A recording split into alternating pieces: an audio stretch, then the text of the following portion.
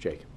Um, Has the president read the Accountability Review Board um, report? I don't know, I haven't, I know he has been briefed on it. I don't know if he's read it uh, uh, word for word, but he's a voracious reader, so he may have. The, um, I believe one person has resigned and three have been, Mhm. stepped down from their current duties, but, but are still um, State Department employees. I- I might, there might have been an update to that since I last read about that. Um, Is that sufficient for the president? Did- Does that, is that enough accountability from the Accountability Review Board? I think by every measure, the uh, report has been assessed to be, uh, to have been sharply critical and uh, very blunt and clear-eyed about uh, both uh, problems that exist, problems that need to be fixed, and uh, the need for accountability, and and actions are already, uh, have been taken, as you just, uh, as you just noted. Um, I'm not questioning the report. Well, I, I'm I, just- I'm wondering, if- again, I is think that enough? I think independent experts here, Admiral Mullen and, and Ambassador Pickering, oversaw uh, Accountability Review Board, which I think everyone is judging to have been uh, quite, and, and, and the recommendations that they have made are being adopted in full.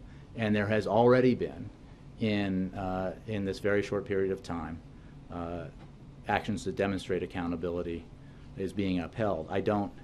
Uh, I mean, I haven't had a discussion with the president, but I think he is uh, both uh, appreciative of uh, Ambassador Pickering and, and Admiral Mullen for the service they provided to the nation here, for the, uh, the depth that they delved into in this report, and the seriousness of the recommendations, the speed with which they acted, and you know he intends to make sure that the administration, as the Secretary of State has said, uh, begins implementation of all of these recommendations before the next Secretary of State takes office.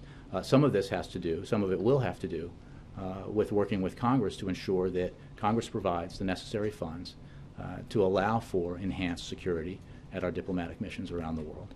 Uh, so there's obviously more action that needs to be taken.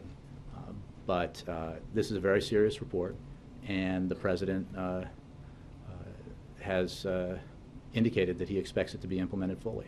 Again, I'm not besmirching the report, I'm just wondering if the, if the personnel. Again, I, is- I think I made clear, I don't have another answer for you. Four people have already, uh, in one way or another, been held accountable, uh, fairly senior people, so. Is that sufficient for the president? That's the only question. I- I- I believe the President believes that the recommendations and the actions taken uh, have been the right ones.